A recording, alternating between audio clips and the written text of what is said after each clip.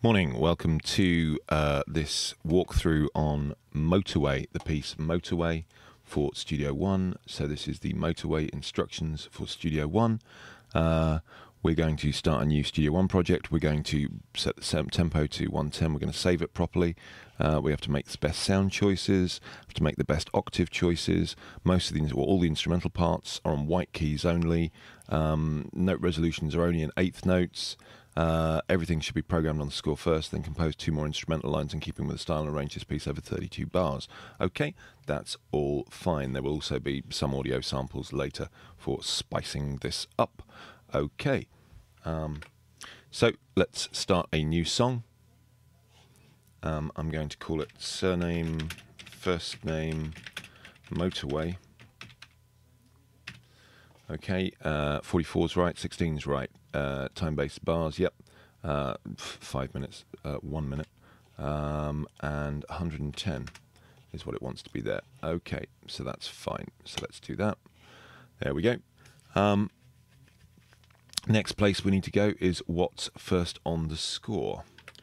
This is a muted guitar. It's a one bar loop that carries on throughout the piece. Okay, so um, let's go over. You've probably got your browser open.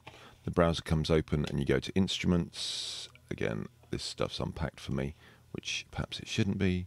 So let's um, just unpack artist instruments and come down to guitars and let's have a look. Let's bring across something that sounds pretty good. Strato guitar is probably about right. So let's try that one across there. So let's have a quick listen in to the piece that we want to listen to.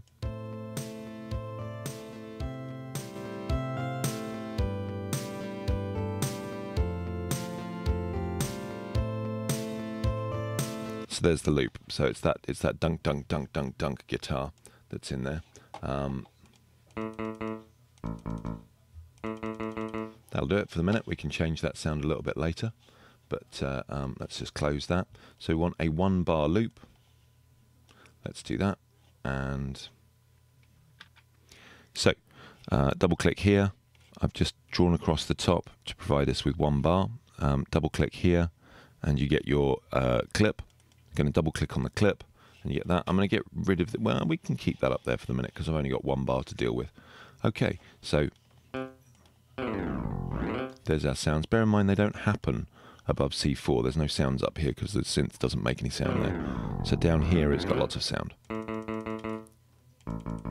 I think it's that one that we want. It's the A there beneath C3 on the particular one. Um, another little thing is everything's in eighths, so I'm going to change this quantize feature here to eighths. Um, just makes things a bit easier to see. I'm also going to press the control key and I'm going to I'm going to zoom in just a little bit there. Uh, I can also do that here Okay, so I press this these two little uh, horizontal bars. That's the uh, see what that called data zoom. It calls that. So it's going to zoom in on the data. I'm just going to do that, and then there you go. Let's right. Okay, let's get the pencil tool and draw those in. So there we go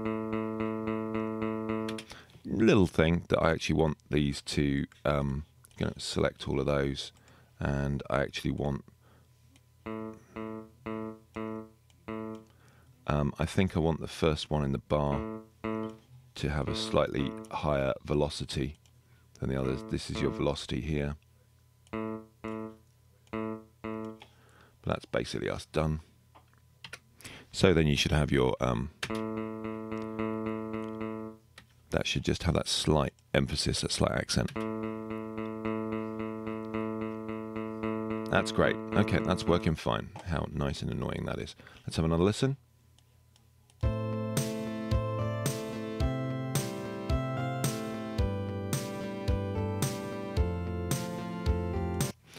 Mix these with different sounds a bit later. Um, so you can change these sounds as much as you like, as long as it gets sort of closer to the vibe of the original, the sort of 80s um, the 80s sort of uh, sci fi vibe. Um, that would be great. Uh, you're thinking um, things like the band uh, Kraftwerk or uh, um, sort of science shows. Um, right, so let's have a quick look in here. Next one we're going to do is tambourine. It's a one bar loop on a drum or percussion patch. You find this tambourine sound uh, uh, on any note of, um, you may find it on any note of a percussion patch. Piano roll just gives you the reference. It was played on the on the percussion patch in Pro Tools, I believe. So let's uh, let's have a quick look at this one. So we want um, to get ourselves drum kit, and let's um, let's just get normal classic kit. Let's just bring that across. Um, there are lots of tambourines in things. Let's just have a quick look with this one. Actually, if we just switch to the standard kit, just up here in the presets, go to the standard kit, that's got the far more nice sounding tambourine. And it's on an F sharp as well. There you go. So we're going to use that tambourine. It's on the one just above C2. So um, let's double click again here. It's a one bar loop. And we're going to come down here and it's uh, there. So the score says that it wants tambourine on the two and the four beat. Um, so that's one whole bar. So it's here. There's the two beat. There's the four beat. So now we should have. We'll put some reverb on that in a minute. You can, if you want, you can use the reverb. Notice that I pressed that little um, icon there to go and have a look at the synth. This is the tambourine synth, um, and you can put the um, you can put the reverb on it here.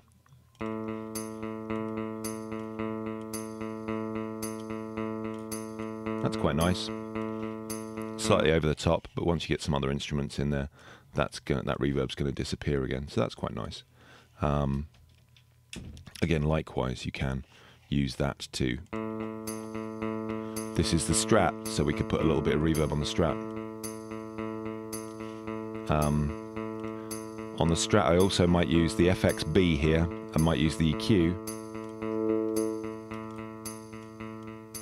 Just to take a little bit of the mids out, make it a little bit more ticky. There you go. So it's very powerful. Right, so there's the second line that we've got. Let's go and have a look at the third line. Third line's the drums, typically 80s sounding big studio drums, one bar loop, kick, snare, kick, snare on the on the on all the beats. Okay, so um, let's uh, go down here, and I quite like large kit. Um, or stadium kit's really good as well. Actually, let's go for stadium kit for the minute. There's stadium kit. Da, da, da. So stadium kit. Yeah, that's going to work really, really well, especially once we get a little bit of reverb on it. Um, that's quite nice. It's a bit bit dense. Okay, fine. Um, let's double click in here and let's just make sure that we've got the right one. I'm going to double click in there, come down here. It's down the bottom. Kick is always C1. Snare is uh, the D above that. Uh, I might actually go for the E. It's a nicer sound. So then we've got this. That's the third line done. Okay, let's do the fourth line.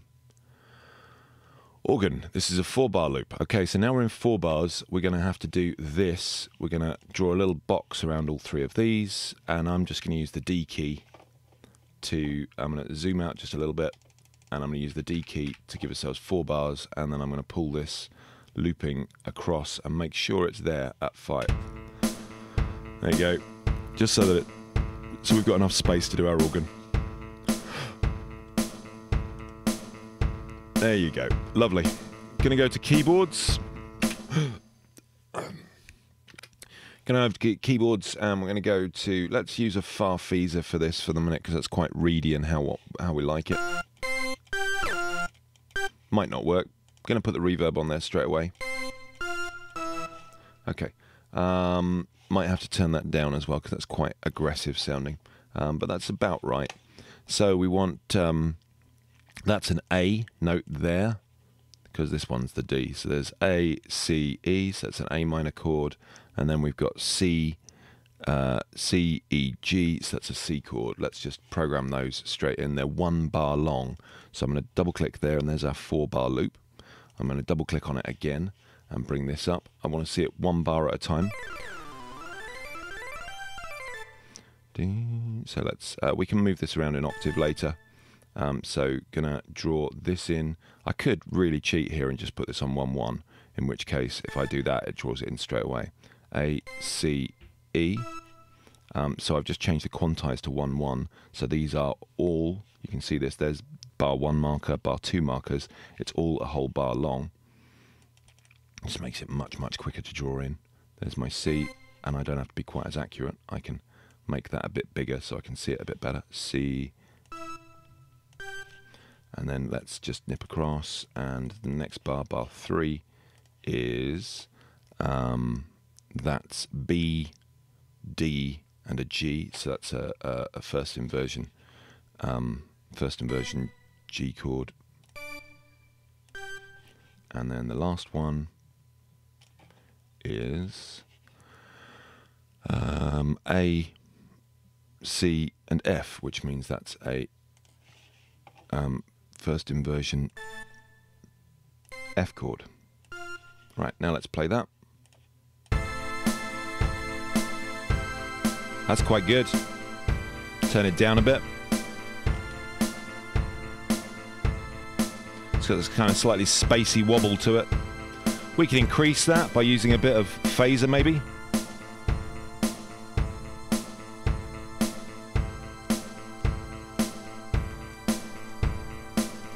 or even flanger. Ooh. Perhaps some delay as well. Sounds nice. Anyway, the kind of instrument sounds that you like. Okay, so that will work fine. I might just EQ out the very bottom end of it with these effects, because these effects are kind of fun. So it's a bit thinner. There we go.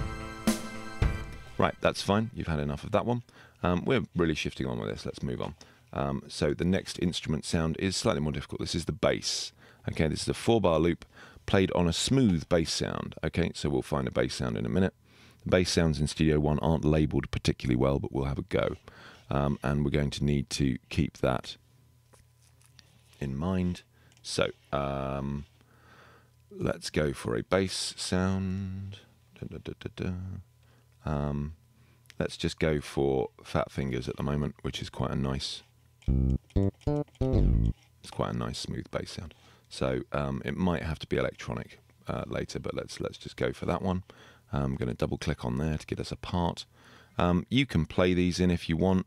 By the way, you can draw these in. We've got lots of evidence of different ways in which you've in which in which you've put uh, uh, sounds into this. You should be probably playing in an improvisation later, so that'll give you a chance to actually play something in from the on-screen QWERTY keyboard.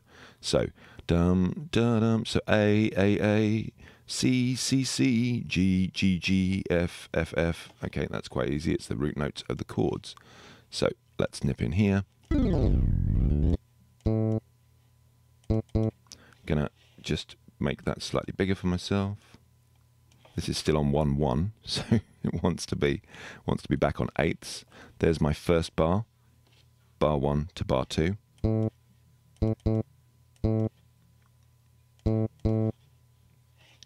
Um, so I need to watch out for this a little bit.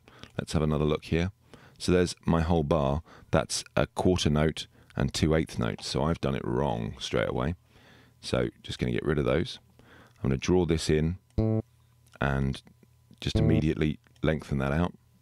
And there's my quarter notes. Uh, quarter note, eighth notes. Mm,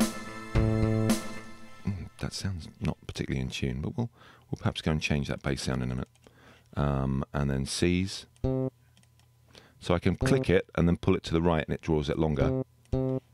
And then I want an F. There's bar 3, so it's F. Oh, no, G.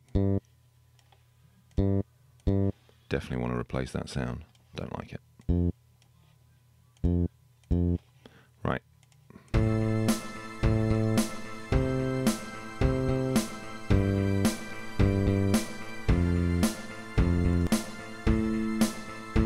bit better.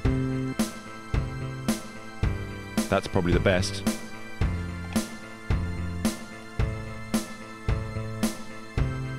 That uh, F, yeah, that uh, um, whatever that last one was that I I, Fat Fingers, horrible. It's out of tune. I don't understand why they put a patch in there that's out of tune. Never mind. Um, but that sounds great. That's fine.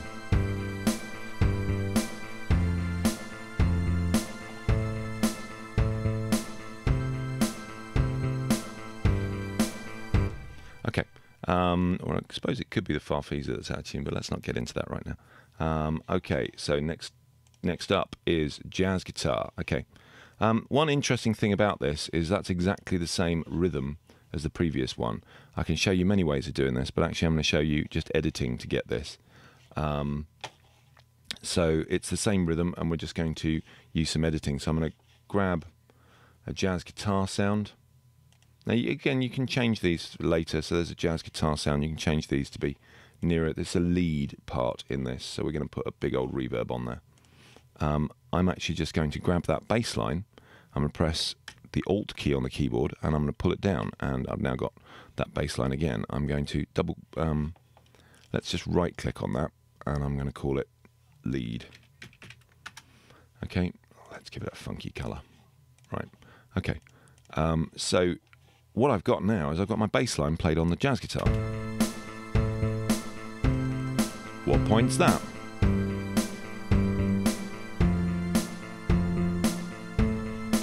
Okay, so I've got that played on the bass guitar now. Does that do us any good? Yes, it does. If I if I zoom out of that and I grab all my notes and then I start pulling these notes up, let's have a quick look. Um, so I'm just going to move them up by a few octaves. So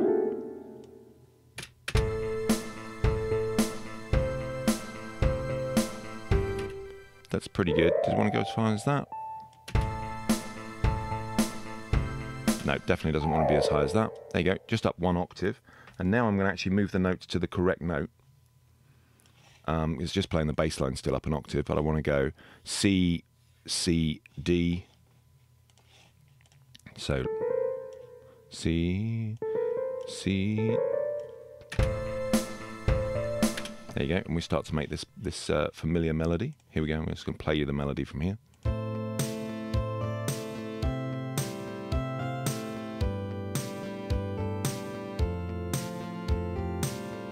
There you go. That's the melody in there. Dun, dun, dun. So the next bit is the next bar wants to be E, E, F.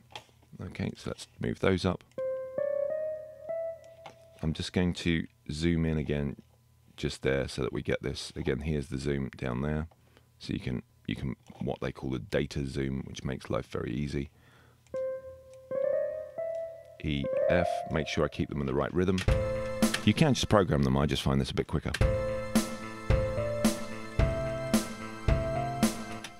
And then the next one is uh, B, B, A.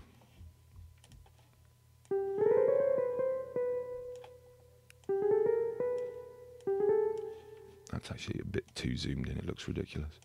So there we go. Um, the reason I zoom in, the next one's A, A, G. The reason I zoom in is to actually just make them a little bit more physically man manageable. There it is. It's done.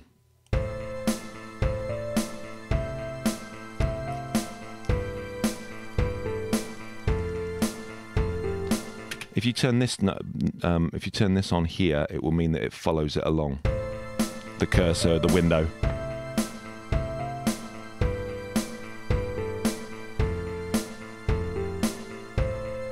That's done. Okay, so we're more or less there with this, and then we can do some arranging. Um, I'm probably not going to go through all the arranging. I'll do just a little bit of it. So, um, bass lead. This is a four-bar loop with a more aggressive bass sound. Uh, all the notes are placed within the two and four beats of the bar. As you can see, nothing's on the first or the third beats of the bar. Um, so we need a sort of a more biting bass sound for this. So let's nip in and um, uh, let's get ourselves this DX bass because that might well do it. We'll start with that. We'll start with that and see where we get to. Okay.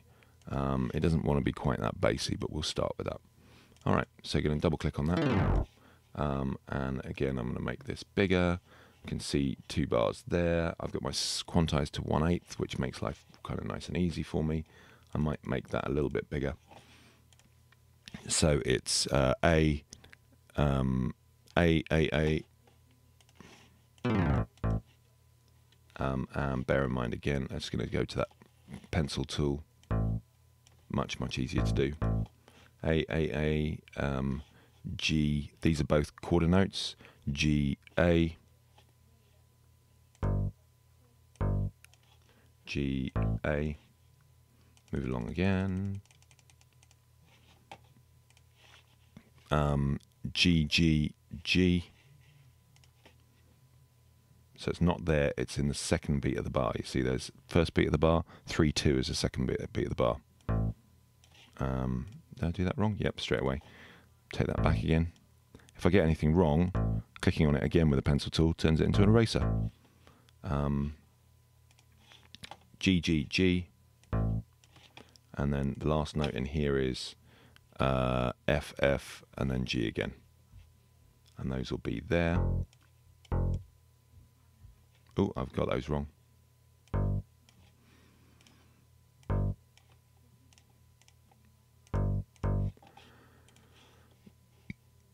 Okay, so let's try that.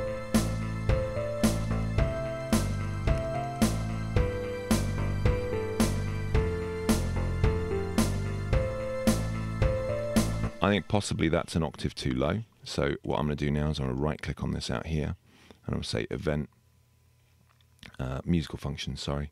And I'm going to go up to transpose and I'm going to say plus one octave and say OK. So let's try that.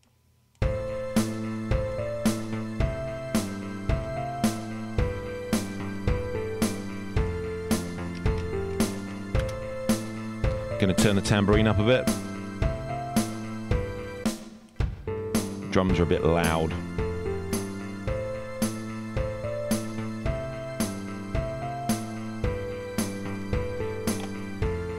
So things to do after this is um, one. Let's make this as the score for Motorway. So so um, I think we're just going to copy that through by. Um, so uh, the first eight bars have just got to be exactly as is. Um, program everything as it is on the score first, then compose two more instrumental lines in keeping with the style, and arrange this piece over 32 bars with an intro and en- ending section. Well, at least an ending section. I just want you to keep the first eight bars exactly as is. Just comes in literally as that. Also be recording audio samples, so we'll be doing some of that a bit later. So, um, essentially, this wants to be 32 bars when you're finished with it. So uh, I'm just going to copy that across there, that's my 32 bars. And I can decide after this point, um, I can decide after that point to do what I like.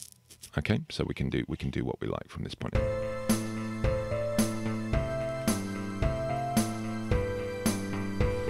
So to copy it across, I was pressing the D key. That's a really good way. I, I um, you might have seen that I'm just going to do that one more time just for everybody.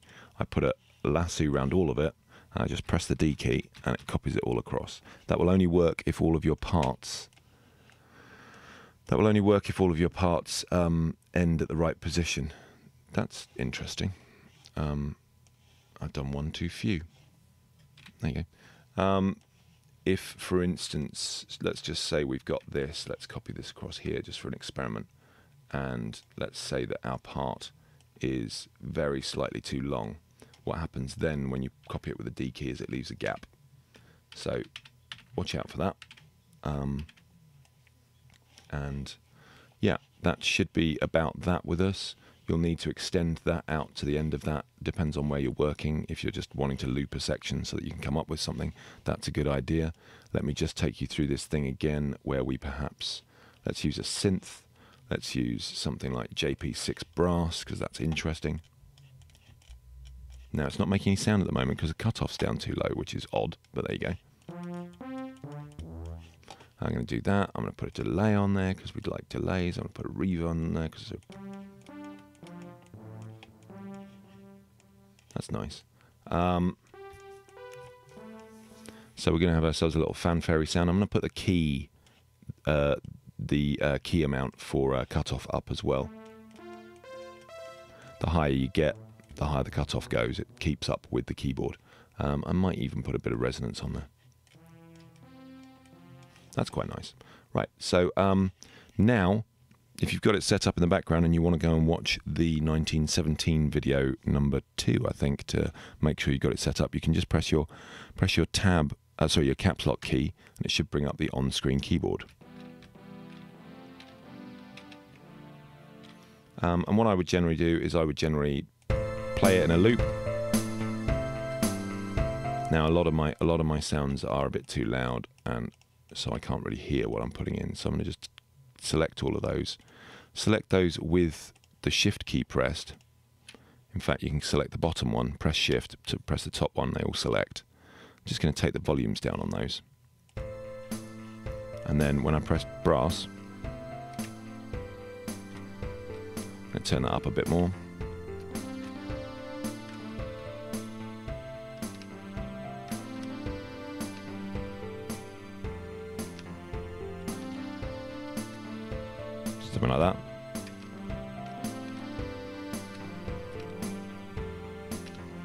That's quite nice. Um, so I'm just going to put that line in. So to do that, I'm going to give myself probably a click. I'm also going to give myself a count in, which is this little round one, and then I'm just going to let it go. Let's see what it sounds like. Oh, that's nasty. And I missed it, because normally on my other one I have two bar counting. And let's missed it again. Let's try it one more time. Just undo that, Control Z.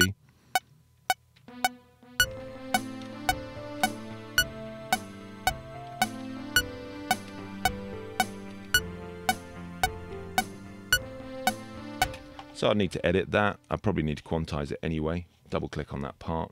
Just going to get rid of that for a second.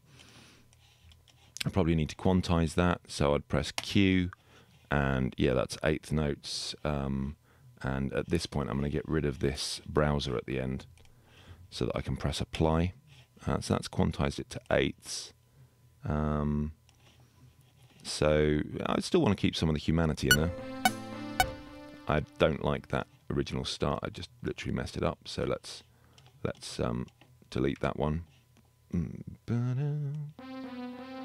Let's have it come straight in.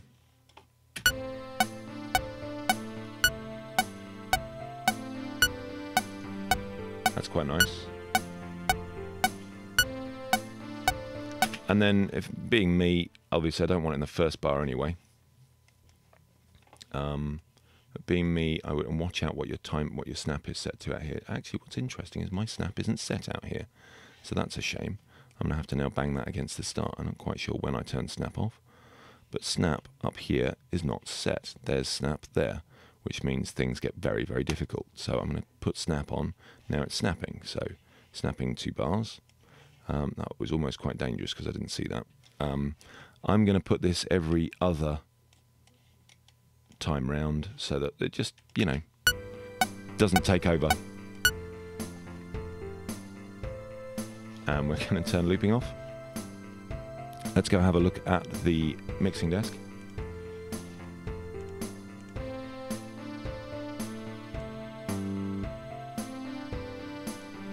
There's our there's our brass line. You see them, they're written through. They're saying presence at the moment. There's our lead, the lead bass. There's our bass. Oh no, that's not. That's the um.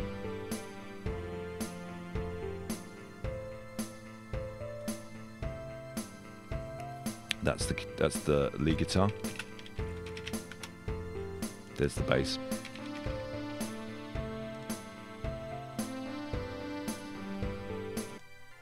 There's the organ.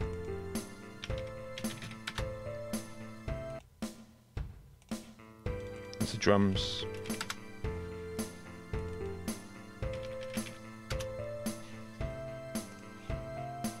So a few little bits, I might go back in and I might start listening and replacing sounds. I don't really like that strat.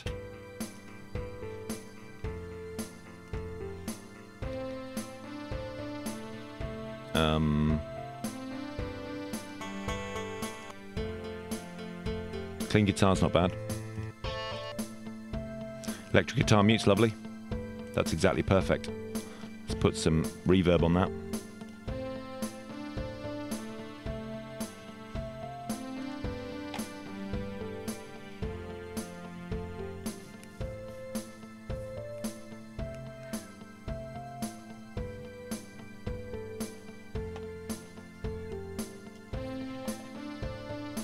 And as per the instructions, you're going to want to put you're going to want to put some kind of um, ending into this. You might want to just leave it so that uh, so for instance, um, you might want to leave it so that you don't have quite as much going on in the last bit, so that it, it takes itself down. Maybe you don't want drums in the last bar, so that you've got something. Um,